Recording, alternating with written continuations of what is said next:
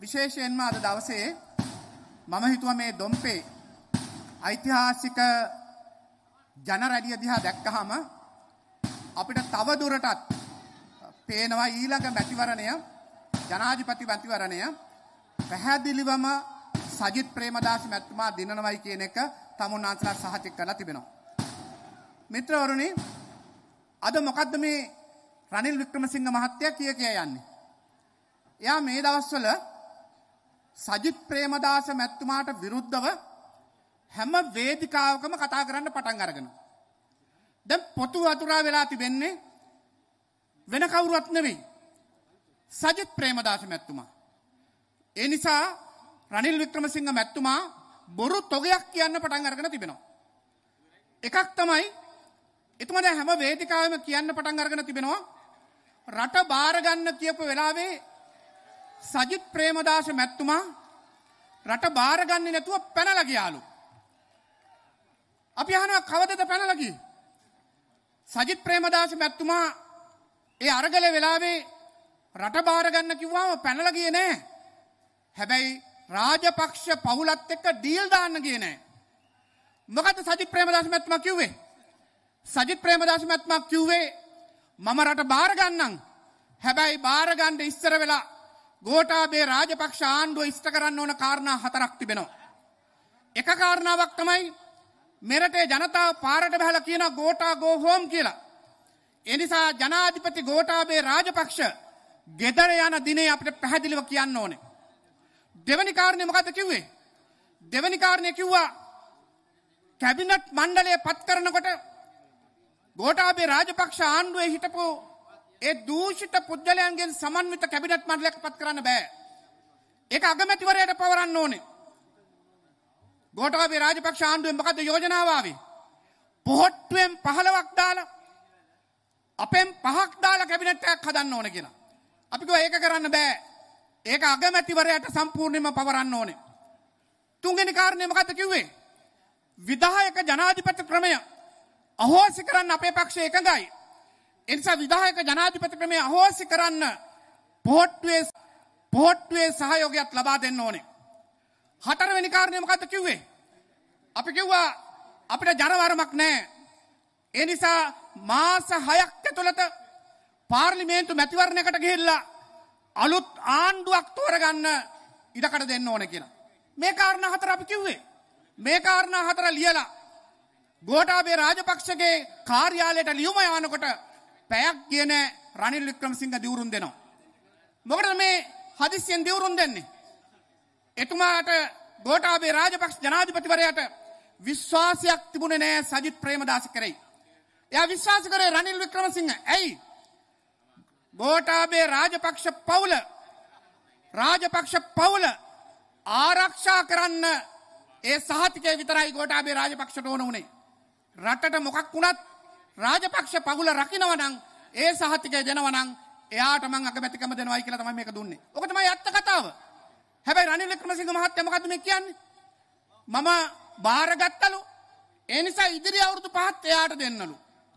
ඒකට ජනතාව ලෑස්තිද? ඒකට ජනතාව ලෑස්ති නෑ.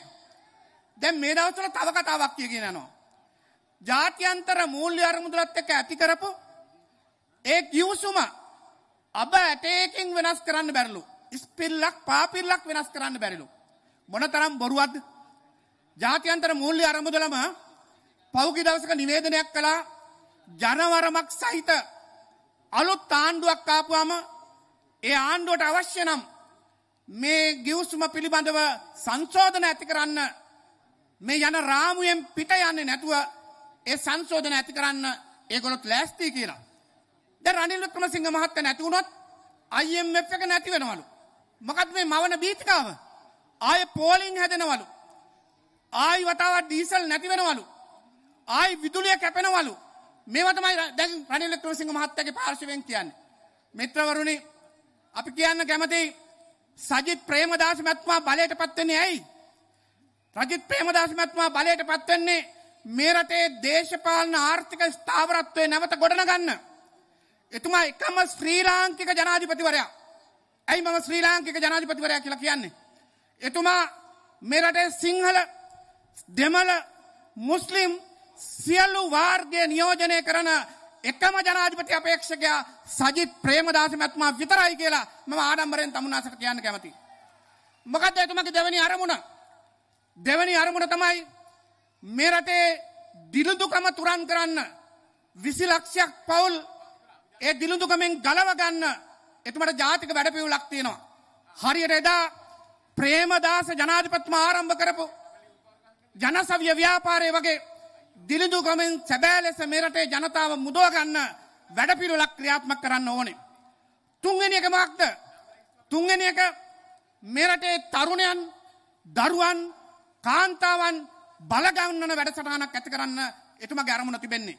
ඇයි මෙරටේ බහුතරයක් වුණු කාන්තාවන්ට, දරුවන්ට, තරුණයන්ට අනාගතයක් ඕනේ.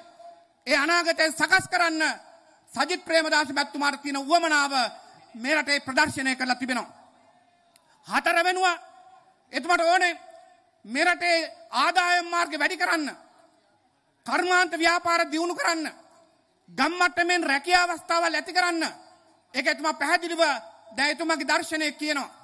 එහෙනම් මේ රට විනාශ කරන්නවත් මේ රට නැති කරන්නවත් නෙවෙයි අපිට උවමනාව තිබෙන්නේ සජිත් ප්‍රේමදාස මැතිතුමාට උවමනාව තිබෙන්නේ මේ රට ගොඩ අරගෙන මේ තියෙන දරිද්‍රතාවෙන් රට මුදවගෙන ආර්ථික වශයෙන් ශක්තිමත් රටක් මේ රටේ ජනතාවට දායාද කරන්න කියන එක මම මතක් කරන්න කැමතියි. මිත්‍රවරුනි ජනතා විමුක්ති පෙරමුණ ගැන වචනයක් කතා කරලා වැඩක් නැහැ. ඒගොල්ලොන්ගේ ප්‍රතිපත්ති ප්‍රකාශනයේ එළියට දැම්මා. ඒ කතන්දර පොත දිහා බලන්න. ඒ කතන්දර පොතේ මොකක්ද තියෙන්නේ?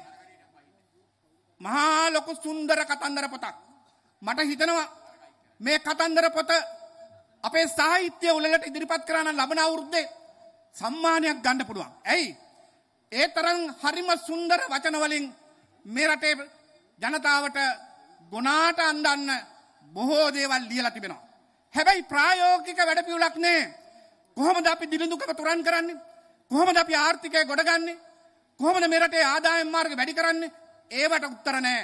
ඒ නිසා මිත්‍රවරුනි අපි තා පැහැදිලිව කියනවා ලබන විසියක් වෙනිද මෙරටේ ජනාධිපතිවරය හැටියට සජිත් ප්‍රේමදාස මැත්මා පත් කරන්න නම් අපේ යුතුකමක් වගකීමක් තියෙනවා ඒ සඳහා අපේ ඡන්ද පොළවල් ජයග්‍රහණය කරන්න. ඒ නිසා මෙතනට රැස්වෙලා ඉන්න ඔබතුමන්ලා මතක තියාගන්න අපිට තව එක ඡන්දයක් දෙකක් අලුතෙන් එකතු කරන්න ඕනේ. මේ හැම කෙනෙක්ම අලුතෙන් අපිට ඡන්ද පොලක ඡන්ද 200ක් එකතු කළොත් අපිට පුළුවන් ඓතිහාසික ජයග්‍රහණයක් ගම්පහ දිස්ත්‍රික්කයෙන් වාර්තා කරන්න. නිසා දොම්පේ ආසනේ මේ ජයග්‍රහණය තහවුරු කිරීම සඳහා අපේ හර්ෂණ රාජකරුණ මැතිතුමාගේ මූලිකත්වයෙන් ඒ ගෙනියන සංවිධාන වැඩපිළිවෙලට ශක්තිමත් කරන්න.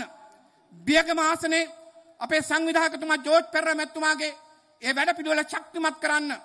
ඒ වගේ මහරාසනේ ඒ සංවිධාසිත ගුණසේකර සංවිධායකතුමාගේ ඒ සංවිධාන වැඩපිළිවෙලට ශක්තිමත් කරලා මේ දවස් විස්ස ඇතුළත ගම්මට්ටමෙන් අපේ ප්‍රචාරක ව්‍යාපාරය දැනවත් කිරීම මෙසිියල්ල කරලා ජයග්‍රහණය සඳහා පෙළගස්වමු. ඒ සඳහා අපි හැම කෙනෙක්ම චන්දපලට කැඳවගෙන ගිහිල්ලා සජිත් ප්‍රේමදාස මැත්මා වෙනුවෙන් දුරකතනයට අපේ චන්දය ප්‍රකාශ කරන්න කියල ඉල්ලමින් මගේ වචන් ස්වල්පය අවසන් කරනවා බොහොම ස්තුතියි.